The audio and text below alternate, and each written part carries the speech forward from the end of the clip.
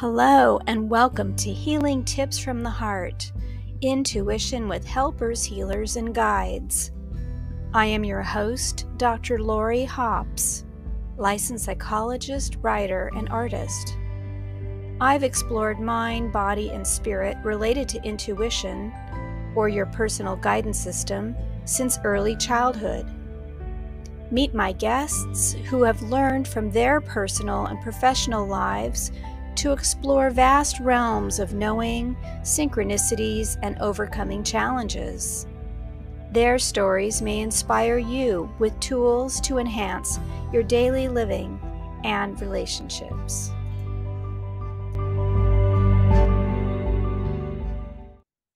Hello and welcome, my special guest, Dr. Larry Burk. Dr. Burk is a medical doctor who did his training and residency at the University of Pittsburgh. He's also trained in acupuncture, hypnosis, and is a certified energy health practitioner. He was a co founder of the Duke Integrative Medicine Program and has a coaching practice online at Healing Imager LLC, specializing in EFT or emotional freedom technique, hypnosis, dream work, and the Enneagram. Dr. Burk retired from Duke University Medical Center in 2021 after a 40 year career as a holistic musculoskeletal radiologist, which he'll be talking a little bit more about, a very unique position in the world.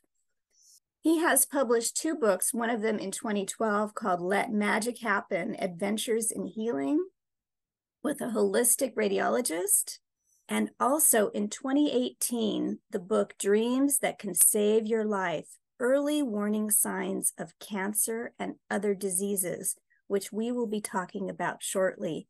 So, welcome, welcome, my special guest, Dr. Larry. Thank you so much for being here.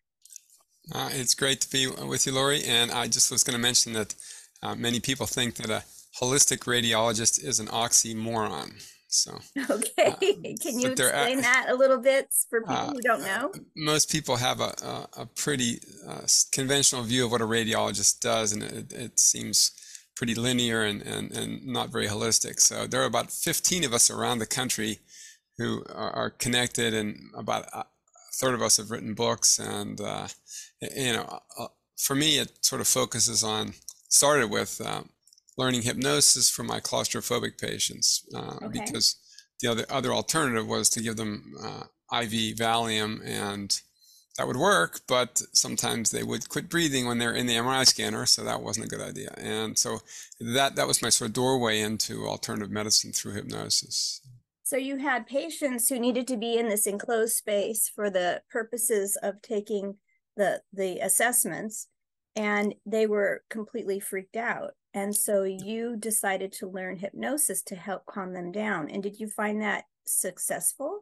It was great. And at the time, I didn't know emotional freedom techniques yet, or I would have combined EFT with the hypnosis. But the hypnosis worked pretty well. And you just ask people to imagine where they'd rather be than uh, in a tight, confining MRI scanner. And they usually say, I want to go to the beach or the mountains. And you just say, just go there for the next hour and we'll tell you when to come back. You know, so. Yeah. And so, why did you move to EFT?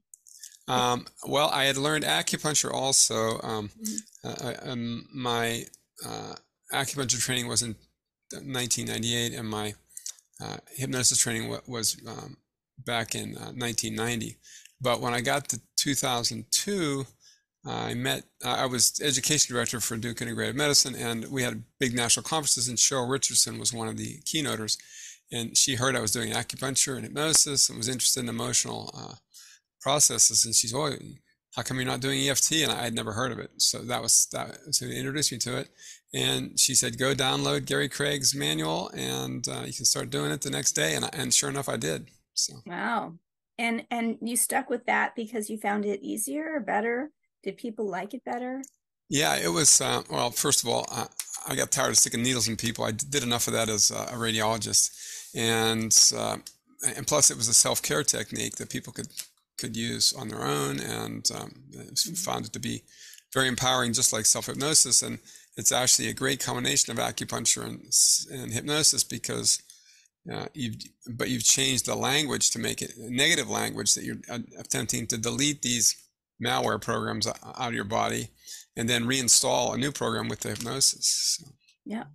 And it works. It works. Yeah. Oh, and when I started, there was one randomized controlled trial. Oh and, and, and that was at Duke. That was very important. And and yeah. I said, this is evidence, sort of evidence based medicine. There's there's one study now. There's dozens, if not uh, over a hundred. You know. So. Yeah. Well, randomized control, not so much. There aren't hundreds, but well over two hundred in general. Yeah. And many dozen randomized control. Yep. Yeah. yeah. And uh, for specific areas. Yeah. Wow. So you were you've been around since almost the inception. I mean, it started really with Roger Callahan in the 70s, but when it started to become more popularized in a very small community, that's when you jumped in. So wonderful. How lucky for you and your patients that they could have a more relaxing experience with you and you didn't have to poke them with more needles.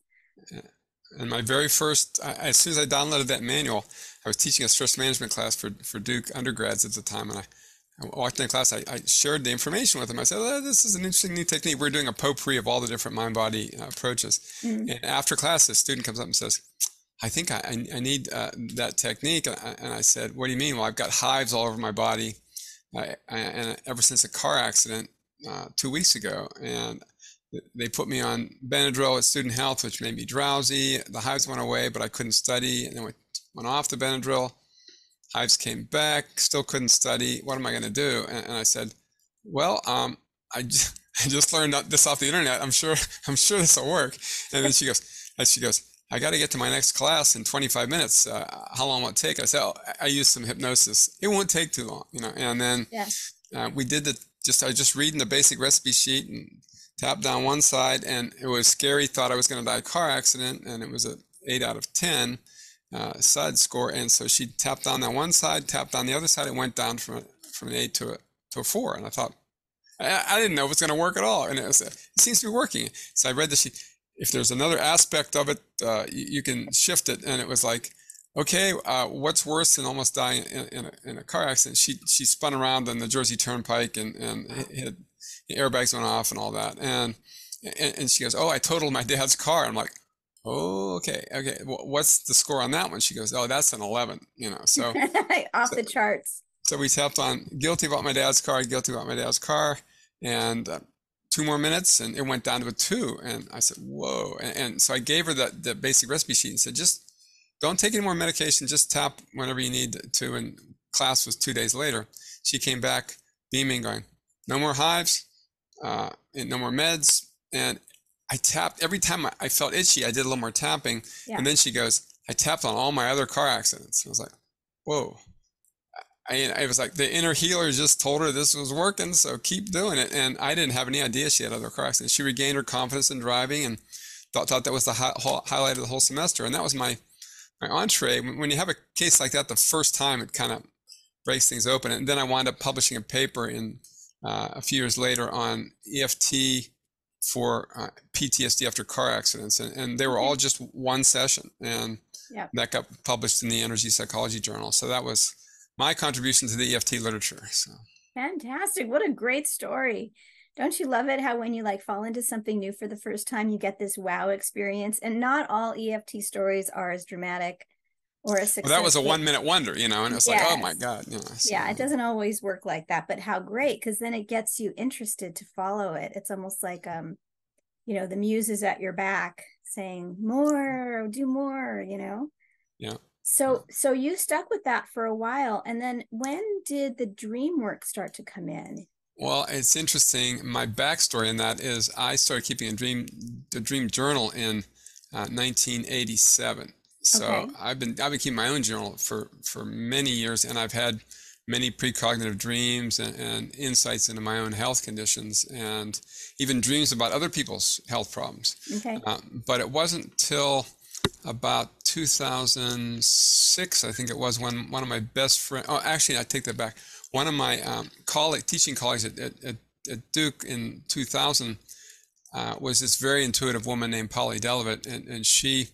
Uh, had this amazing story about how she diagnosed her cancer of the tongue uh, by dreams of spiders coming out of her mouth. Mm-hmm. And uh, and and that was my first uh, experience of someone talking about diagnosing their own illness with a dream, and so she um, she got me inspired by that. But then in 2006, one of my other best friends um, told me the story about her breast cancer, and that was started that whole process, and that she was had a very incredibly vivid dream, and she was 50ish, and uh, no symptoms, you know, uh, n- hadn't had any recent imaging studies. And so she has a dream that she's on the operating room table with a woman surgeon operating on her left breast. And it was like, okay, that was, you know, very detailed and, and she knew what she had to do. And she went into the radiology department uh, that week and he said, I need a mammogram.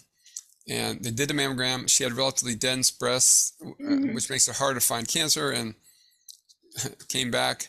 No, radiologist came out, reassured her, said, "You can come back in six months. Uh, nothing there." She said, "No, I'm not.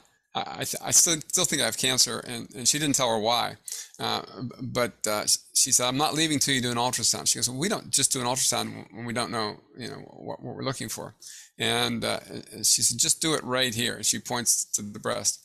And the radiologist kind of rolls her eyes and she puts the probe on, and there's that one centimeter cancer deep in the breast. And and the radiologist was like completely freaked out. And she said, "How'd you know it was there?" She said, "I had it." That's when she said she had a dream about it. And then, okay. and then a week week later, she goes to see the uh, uh, surgeon f- for her preoperative visit, and it's the woman who was in the dream. And that was oh, ooh, chills. Exactly, and, and that got me started. Then I had a few other friends uh, with breast cancer, and uh, and, and dreams. And then I decided to do a survey uh, to find out. I, I, joined the International Association for the Study of Dreams and did a survey uh, of inter- international uh, people around the world. I went up with 18 women uh, who had the same story. And so I wound up um, getting that published in the Explore Journal. Just a survey talking about you know what it was like for women to have these dreams, and it was like the dreams were more more vivid than anything they've ever had before. They often had a, a, a, sense of touch, like their hand was pointing, or a guide was in the dream pointing uh, in in, in the uh, breast, and sometimes they had uh, uh, healthcare professionals in white coats show up as a guide, or or a deceased family member, like a mother mm-hmm. who had mm. breast cancer or something like that. And mm-hmm. and those are some of the characteristics. And there's also a sense of dread that I need to do something about this now. And and then after that I, uh, I gave a TED, TEDx talk about, about that, and that got banned. Um, uh, if you're outside the TED box, you'll get censored, and that was my first experience of censorship. Yeah. Uh, and then I wrote a book about it with one of the uh, dreamers from uh, my study, Cat O'Keefe Kanavos, and she had amazing stories about her. Her guide was a Franciscan monk who came and told her, waving a, a feather this is going to be your, your your weapon to to get the doctor's attention. And she didn't even have uh, they couldn't find it on the imaging studies. And, um, and so she wound up finding a doctor who would operate on her without having the study. And sure enough she had the cancer. And she's wow. alive and well alive and well 15 years later and, and like an energizer bunny now writing more and more books. And uh, so we wrote that book together. And that was and we wound up collecting cases from around the world of other types of uh, cancers and a few other diseases as well. But the most interesting one that, uh, that was in the popular uh, press was the famous actor Mark Ruffalo. You know, he plays mm-hmm. the, the, Incredible Hulk um, and in many other movies. Well, apparently, right at the beginning of his movie career, like 20 plus years ago, he had a dream about having a brain tumor. Mm-hmm. And so, what are you going to do with a dream like that? He comes into the to the movie set that he's working on and finds the Hollywood doctor and says, I, I think I have a brain tumor. And, you know, I'm sure this doctor's used to dealing with wacko uh, act, actors all the time. He's, so he said, all right, we'll get a CAT scan to make, you know, reassure you. And, and it turns out he's got a, a golf ball sized, uh, you know, cancer uh, right behind his ear uh, in, in, next to his brainstem.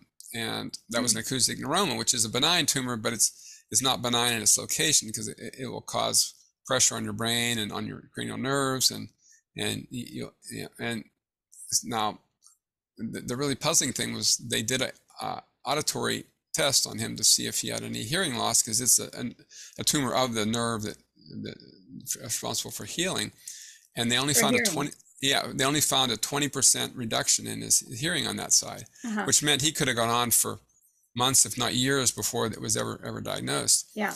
And there's a, another significant problem with the surgery for that is the facial nerve runs right by the auditory nerve. It's the seventh and eighth nerves, and uh, and, and if, if if that nerve gets impacted by the surgery, uh, you wind up having facial paralysis, like a, a permanent Bell's palsy. Uh-huh. And so that was he. He knew he was going to lose his hearing when they took the ner- the nerve out with the tumor, but he was hoping he could get away without you know the facial nerve damage.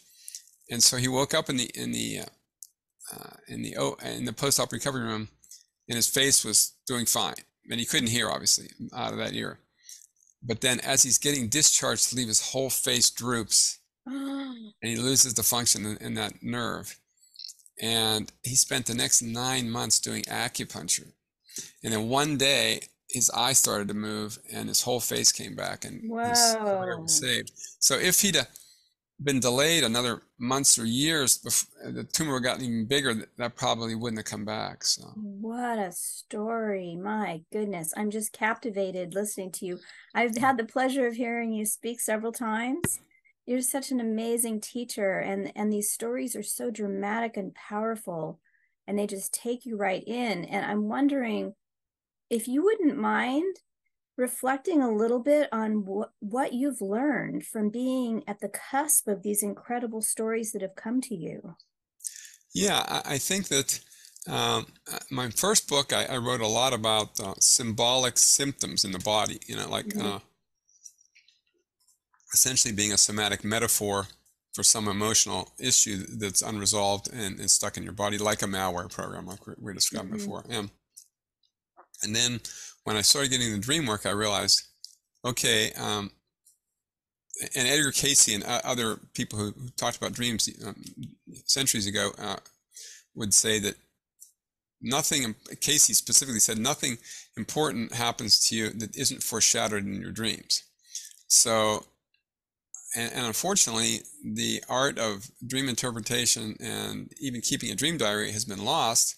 And when I when I give I gave a, an EFT lecture to a workshop to, to a bunch of mental health professionals, and, I was sharing these stories. I said, "So how many of you keep a dream diary?" Like ten percent of a group oh, of kidding. like a therapist. I was shocked, and I was like, "Oh my god!" So okay, so that means that the number of your patients who are actually keeping a dream diary is even lower, and and and I said, "What about Jung and Freud?" Didn't oh, we had a week on them, and then then we never heard about it again. like, okay, they must be younger than me. oh, and and, uh, and and you know, Freud, the dreams of the royal road to the unconscious, and, yeah. and it's the cheapest therapy you can get, and yeah. and you know, and so so I just started encouraging all my clients to keep a, a dream journal because I realized, you know, if you're fortunate, you can get the message from your body ahead of time through a dream it doesn't have to manifest as a physical symptom. Yeah. Um, so, and, and if you don't get the, the more subtle message, you're going to get a stronger message from, from your body in terms of symptoms. But they, you can kind of work with both the symptoms and the dream symbols uh, essentially the same way. It's like, what does the dream want? What does your symptom want? And and the, and the symptoms are sacred messengers from your subconscious, and you better right. better treat them that way. And then I also get people who uh, you know contact me and say i had this dream it seems to be a physical illness type dream and i always say you got to ask two questions. One is um, is this a dream about me or, or someone close to me? Because mm. uh, that's critical to, to, establish that and then if, if it's if it's about you then you ask the next question is is it an emotional metaphor mm-hmm. or is it a physical thing I, I, need to take care of now? Or both. Uh, yeah, or both. Uh, well, yeah. I mean, it often there's there's going to be an emotional metaphor, but sometimes it's only an emotional metaphor, and there's nothing physical. And yes. and and that's um, an important distinction to make. Uh, and and I've had two instances uh, where that came up when I was presenting at the ISD um, uh, Dream Conference. One of the researchers came and said, "I had a client who had a dream about having a um, cancer in her groin." And you know, she went through every imaging study looking, searching for the CT scan, MRI scan, ultrasound, everything. Nothing came up. And she finally had the insight that like, hmm, okay, my my boyfriend um, is an astrological cancer sign, and he's behaving kind of malignant, malignantly. Oh. So she dumped him. Now, then you might say, well, what if she had ignored that dream and married the guy? Would she have then gotten a cancer there? You know, uh, we don't know. Uh, and Right. then, and then my other, my close friend and one of my MRI techs, uh, Ann Charles, who's in my TED talk, she, she said, oh, I had this dream about giving birth at age 58. It was like, and she said, that made no sense. It's like, Mhm. uh, I've been postmenopausal for years and, and, she, and she's a, um, an artist, a rug hooker, and she assumed, oh, I'm just, it's about giving birth to my next project. But Yeah. she's a very, very skilled dreamer. And she immediately asked for a uh, clarifying dream, which is an important uh, thing to know about. And she said, Tell me more about that uh, giving birth dream because I can't figure it out. And Mhm. so the next night she gets this taken to this uh, cemetery in Ireland and shown a headstone with her name on it and then surrounded by daisies. And she says, If you don't uh, do something about that dream last night, you'll be pushing up these daisies soon. And it was like, okay. So she went right to the gynecologist and, and she was somewhat overweight, so she couldn't really feel anything on the physical exam. They did a, um, a- an ultrasound and she had an endometrial cancer in her uterus. Oh, And then the punchline is you have two choices on how to operate on that. It can be an abdominal hysterectomy where they do a you know, midline incision, or it can be a vaginal hysterectomy where they deliver it through the vagina, essentially giving birth to the tumor. And that, that's what she did. oh, So uh, that was an amazing. Uh, th- so those two stories always stick with me in terms of getting clarification. Yeah. wow. The beautiful metaphors, they're so powerful and they're so personal. I mean, you're highlighting a lot of what I teach when I teach um, developing or embodied intuition classes. All these features of like metaphor and importance, and that it's singular to you, and that it's usually delivered with an intensity but not a fear. And um, and that you need to pay attention and, and do some digging sometimes to figure out what does this mean. It doesn't come crystal clear. So even in the clarifying dream, the importance of it, it didn't say you have an endometrial tumor, you know, in your uterus that you're going to deliver vaginally like a baby Yeah. you know so it it's it's gets confusing and and you have to really dig inside and and be curious and how many people um, either don't remember their dreams are frightened of their dreams or forget about them or brush them off oh it was just a dream is what we're told growing up um, in Yeah, many and- yeah. And I have clients who swear they never remember their dreams. And I say, uh, when I do my original uh, initial free like phone call and, and say, look, you know, before your first appointment with me, uh, you'll probably have a, a- dream of some sort. And Yeah. so planting that suggestion, and I say, sometimes it's just a dream fragment, like a, a- picture or one sentence. And then afterwards, sometimes I'll have an epic dream, which tells them exactly what's, what's going on. And also setting the intention by, by buying a dream diary, keeping it by your bed, and, and always ask a question before you go to bed to sort of prime the dream world to let them know you're open for business. Yeah. And, and the only rule is you can only ask one question a night because you want to know what the dream is responding to. So, okay and that's great advice thank you for that have you had any dreams you'd care to share that maybe changed your life or were oh yeah, uh, many, but uh, um, something that you feel comfortable sharing Yeah, uh, one of the most interesting ones, um, since a lot of the, the healing work we do eh, sort of is metaphor for the healing journey, hero's Mhm. journey. So uh, I had left um, Duke in 2004 out and to do read MRI scans from home, and I, that was a great gig to have when my kids were teenagers and I could go to all their events and everything. Um, and then in 2015, I got invited to come back. Uh, they were short staffed; they needed me to come back part time, so uh, I was debating whether this is a good thing to do or not. And I had this dream, and I had been a, a Duke uh, undergrad for, for college, and I am I am in this dream. I am uh, in a English class with my favorite grad student English instructor, uh, who took two classes from. Uh, one was Images of God in Modern Fiction, the other was The Absurd in Modern Literature. And those stand out uh, as highlights out of my, my whole pre med curriculum, you know. And so she shows up in the dream and says, "This is going to be a class in creative writing," and I, and that, that would have been that would have terrified me back in, in college. And and I said, "I don't think I signed up for that." And, and so then I, I go out the, door and down a winding path, uh, and, and it feels like the start of a hero's journey. I get to the bottom of, of, of the trail, and there's a old woman crone there uh, with a roadside stand selling magic elixirs. Oh. So I think I got to buy one of these. So it's dark fluid. I drink the fluid down, and as I drink it down, it reveals writing on the back back of the flask, and it says that elevator over there. Go over there, uh, push the down button, and go to go to the bottom. So I, I do as instructed. Get out the bottom the elevator, and it's like I'm going out on the yellow brick road in the Wizard of Oz, and it's off to see the wizard, and I'm and I'm back back to Duke, you know. So so that was uh, that was a guiding dream at that point, and then um, uh, and, and I didn't really know exactly why I was going back to Duke because uh, you know I, I mean I by the time I finished there I'd read sixty thousand MRI scans. I didn't think I needed to read more MRI scans. But what what happened was one of the uh, my friends who's also a holistic radiologist in the mammography uh, section, she and I got together and we did another uh, survey of uh, patients who are going for breast biopsies about their dreams. Okay. And because we wanted to get, gather more data and see how significant it was. Now it turned out that that um, you know, very few of the 163 women uh, kept a dream diary, like two or 3 Mhm. and only only uh, you know uh, like five percent of them said that they they had a dream related to their uh, their breast. So it was you know considering we had 18 people, but that was all around the world a self-selected population. This Yeah. was you know uh, just a survey, and but but one woman stuck out and she said.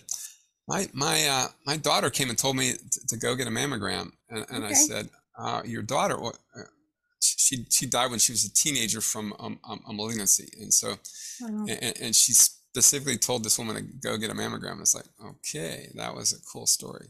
After the daughter had passed, she came in a dream state Oh, uh, decades later. yeah. decades later. So it was a warning, warning message. Yeah. Yeah, from her beloved. Wow. Yeah. It, I'm reflecting on my own dream. I don't keep an active dream journal, but I do. I have over the years, and I'm very aware of my dreams. Um, and I do a lot of writing. Um, and sometimes things are precognitive. Sometimes they're message in layers, and they come true decades later. Uh, yeah, that's true too. You, you don't know. I mean, I've had precognitive ones. That, I, I had a whole. You'll, you'll get a kick out of this. I had uh, about three or four tornado dreams back in 1996, and Okay. and and the, after every one, there was a tornado in North Carolina the next day, and we're pretty rare for North for a North Carolina tor- tornado. So, Mhm. a- and that got me. I was just so blown away by the pig tide of nature, and even one was a trip to Florida I was on. I had a dream about tornado hitting the North Carolina uh, Raleigh Durham Airport, Mm. and the next day I was flying home, and the plane had to be rerouted because the tornado tore the top off the hangar. You know, Wow. a- and, and so so I would, but that was then 20 years later. I was doing a dream workshop with some someone, and some uh, um, leader was saying, "Well, you know, tornado dreams often um, are metaphors for your whole life being turned upside Yeah. down," and and then I realized, oh, 1996 was when I made the decision to leave full-time radiology and go into um, integrated medicine, and Mhm. my whole career did get turned upside down Yep. but I was so enamored with the precognitive nature of it, I didn't even think about any symbolism of the tornado at all. I- course, that- of course. Not not till 20 years later when I go, oh, oh man, I missed that completely. Well, you didn't miss it, but yeah, there it is. And and how fun to rediscover it. And you were also more into um multi-layer of consciousness by then. So you were ready to see that aspect of it. But you know, around the world forever, dreams have been recorded, interpreted, um, seen as prophecy, um, you know, um, help people uh, uh, make choices, wise choices, understand about weather and migrational shifts and all kinds of Right. things um uh, historical changes um genocide all kinds of Yeah. things come up in dreams and we do i think we do need to pay more attention to it um and so i thank you so much for your contribution to this literature and Yeah. and fascinating discoveries of what's possible and I was going to mention for any women out there who are having breast cancer dreams, it's important to realize that of the 18 women uh, who were in my study, I think all of them are still alive, and all of them Mm. use their dreams for continued healing, not just diagnosis. So that's Okay. important. And there's one, just one cool story to, to, to uh, leave you with is this one, woman eh, from the book who, at age 29, I think she had stage four uterine cancer, Mm. and and seriously uh, in trouble. She had she's a young mother, um, and she was praying, and and and, and the oncologist said we can give you the chemo, but uh, you still have like a five percent chance of, of surviving. Mm. And and then so she has a dream uh, where an alien spaceship landed in her backyard, comes in, in into the uh, house. Uh, the little green man gives her a, a syringe with green fluid and says, "You need some interferon." And interferon was an experimental drug at the time that that she'd never heard of. Yeah. So she she goes into the doctor and, and, and tells him, "Can I get some interferon?" He's like, "How do you know about interferon?" Oh, I dreamed about it last night. And he, he says, "Okay, well, we'll get you some." And sure enough, she went into remission, and and you know that was 20 years ago. So uh, that's one of my favorite healing dreams. But there there are many other ones like that. So. Yes. And so you've mentioned, you know, we haven't stated it, but you've mentioned the helpers, healers, and guides.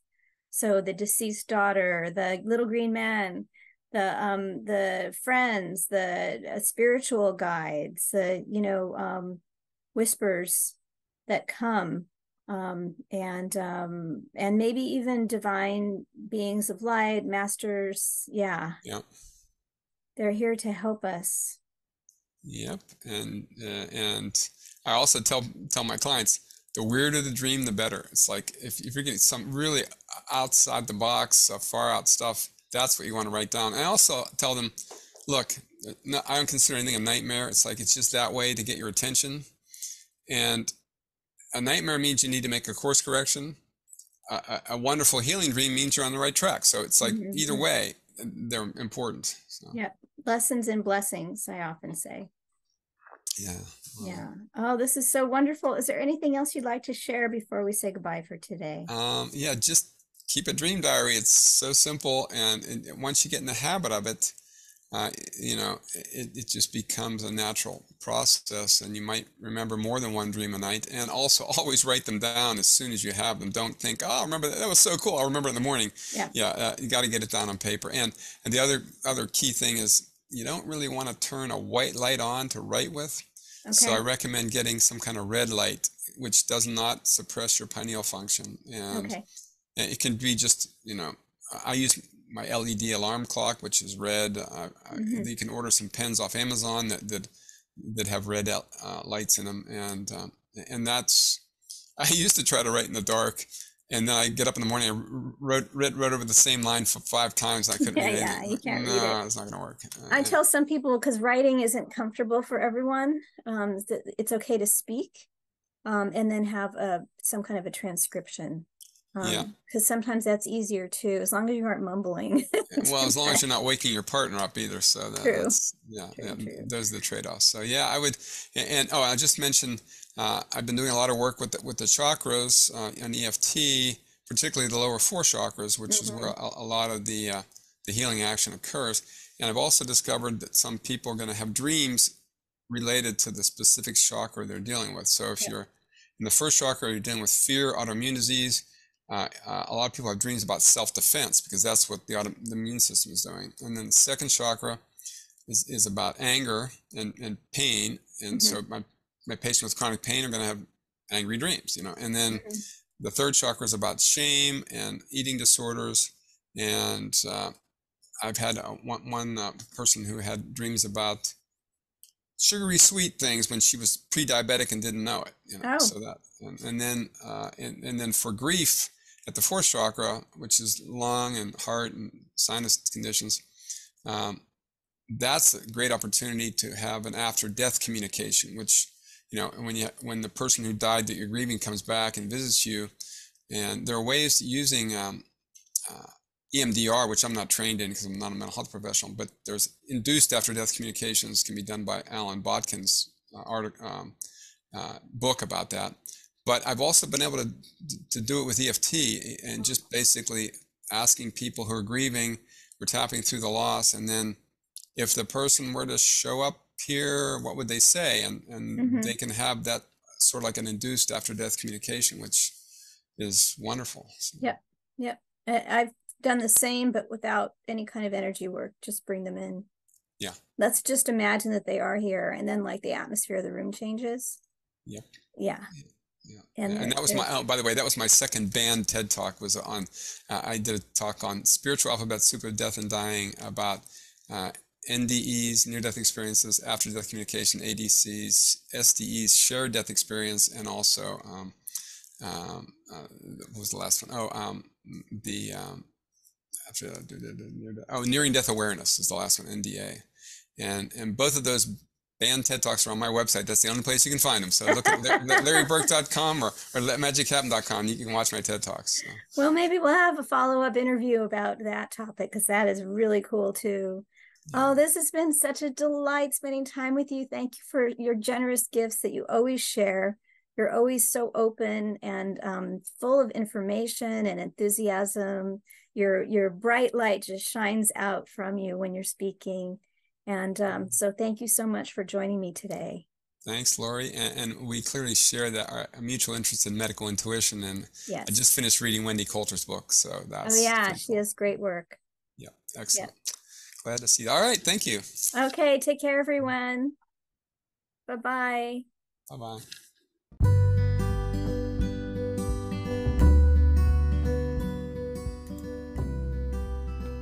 Thank you for joining us for today's podcast.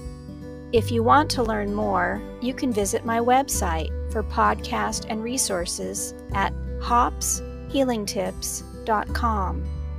You can also like, share, and subscribe to this channel. This podcast is for information and entertainment purposes only and is not providing healthcare advice. Please seek guidance from your professional healthcare team should you need assistance.